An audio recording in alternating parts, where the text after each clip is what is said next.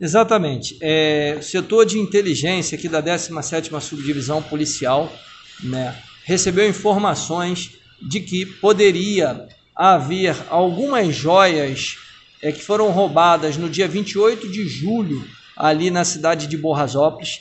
É, esse crime foi um crime violento, um crime praticado é, é, com arma de fogo, mediante violência, que ocorreu em julho. E foram levados diversos objetos das vítimas.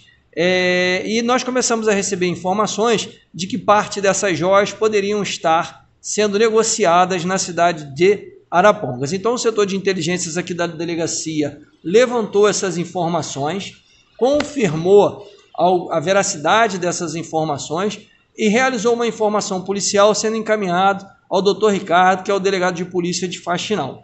Doutor Ricardo, prontamente, como sempre, representou pelo mandado de busca e apreensão no endereço desse investigado, é, no possível local onde poderia ser encontrado aí parte dos objetos subtraídos desse roubo na cidade de Borrasópolis. É, na data de hoje, investigadores aqui da 17ª Subdivisão Policial, juntamente com investigadores de Arapongas, uma vez que os dois endereços, né, onde nós conseguimos investigar, que indicavam que essas joias poderiam estar, elas eram de Arapongas. Então fizemos uma equipe aqui na cidade de Apucarana, juntamos com equipes de investigadores lá na cidade de Arapongas e demos cumprimento aos mandados de busca e apreensão.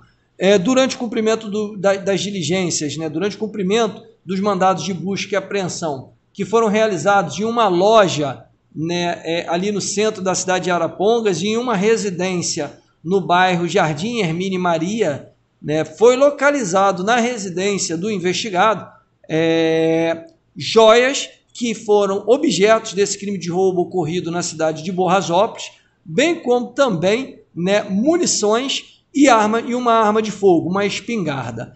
É, diante dessa ocorrência, os investigadores conduziram esse indivíduo, né, esse investigado, até a delegacia de polícia de Arapongas, onde lá a autoridade policial que estava de plantão autuou esse indivíduo pela prática do crime de posse de arma de fogo, uma vez que foi apreendida munições e uma espingarda, bem como também pelo crime de receptação, uma vez que a vítima reconheceu né, que as joias que foram localizadas na residência desse investigado eram as mesmas joias que foram subtraídas no dia, no mês de julho, na cidade de Borrasópolis.